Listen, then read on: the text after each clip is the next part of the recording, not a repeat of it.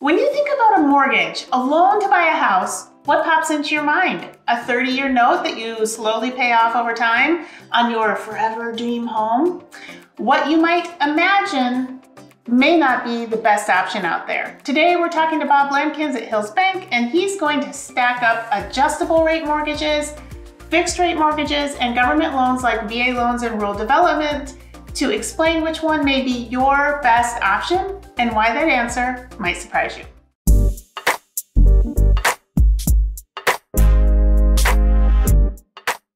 Hi, I'm Emily Farber, a realtor in Iowa City, and this is Bob Lamkins, a mortgage lender with Hills Bank. Hi, Emily. Thanks for having me. I really appreciate it. Uh, as Emily said, I'm Bob Lamkins, home mortgage lender with Hills Bank. Uh, we do have many options available to you, uh, help guide you through, make the best decision for you, whether that be a fixed rate loan, a government loan, or one of our in-house uh, adjustable rate mortgages. You can find all of Bob and my contact information in the description box below this video.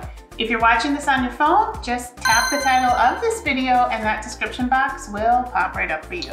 So let's talk about home loans. As an agent who works with a wide variety of people, I find myself hearing some things from my clients over and over. One of those topics is about loans. A lot of people start the home buying process just assuming that they will get a conventional 30-year fixed rate loan. When we dive a little deeper into their home ownership plans, I hear that they might not be planning to stay in the house for longer than five or 10 years, at which point I ask them if they have ever considered an ARM or an adjustable rate mortgage. A lot of home buyers react to that suggestion a little negative. What can you tell us, Bob, about when somebody might want to consider an ARM? Yeah, um, many reasons that someone might want to consider uh, using our in-house ARM products. Uh, one could just be a particular situation that maybe their situation does not work out for a fixed rate loan. Uh, could possibly be just our rate is lower and they want the lower rate. Or maybe they don't have the 20% down payment and don't want to pay the PMI. And of course we don't charge PMI, so maybe that might be another reason to do our adjustable rate mortgage. But a big reason is something you've already touched on, uh, and that's that people realize that they will not be in this home for more than five to 10 years. So in that case, it might not make sense for them to do the traditional 30 year fixed rate loan.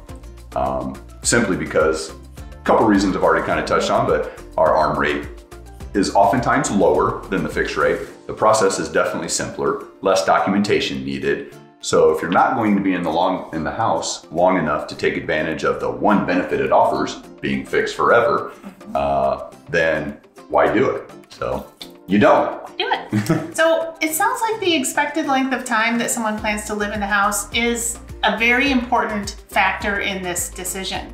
According to the National Association of Realtors, the median length of time that Americans spend in their home is 13 years, but Home ownership duration varies a lot by region. Data shows that median home ownership duration ranges from 6 years to 18 years in the 100 largest metro areas here in the US. According to this data, homeowners in the Iowa City metro tend to stay in their homes for less than 10 years. Alrighty, what about buyers who don't have a lot of cash to put aside for a down payment?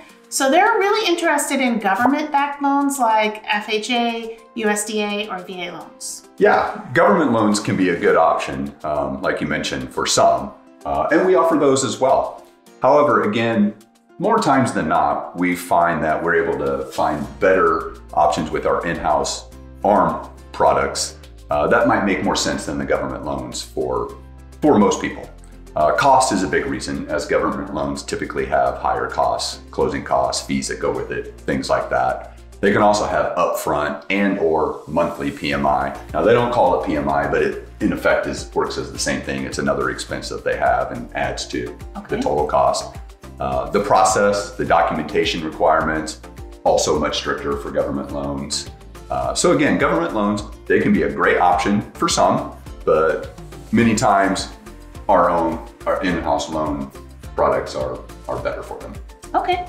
Obviously, interest rates are always in flux, but in general, how do interest rates compare between ARMs, fixed rates, and government loans? That's a great question. As you say, rates are always in flux. Yeah. Uh, conventional and government loans actually can change. They change every day, can change every day. They can change during the day. It happens sometimes.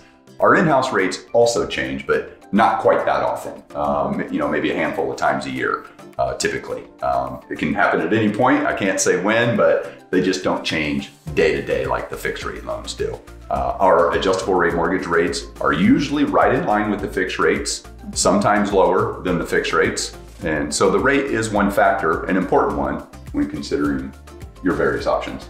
Is there anything else about these three types of loans that people tend to ask questions about? You know, not too much more than what you've already hit on and we've talked about here. Uh, people like to compare the differences and they want to understand of them course. so yeah. that they can make an informed decision and figure out what is the best option for them. With us having all of these options available, we get to help them understand the differences. Ultimately, all that matters is what is best for the customer.